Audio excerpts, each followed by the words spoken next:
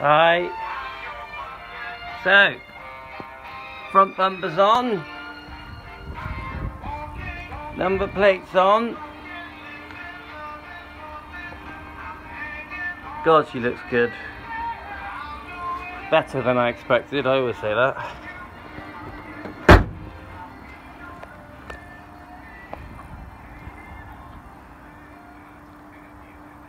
basically finished now. It's um, down to the electrics now.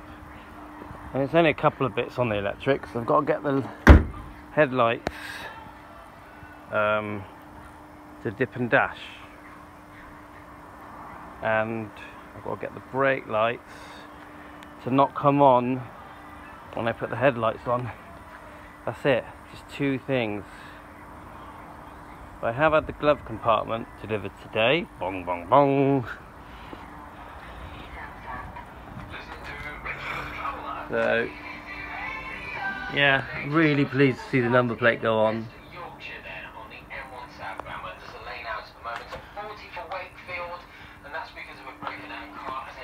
And I definitely think it looks a lot better with the bumpers on. I, I, want, I was trying to make up my mind definitely much better with the bumpers on. Thanks a lot.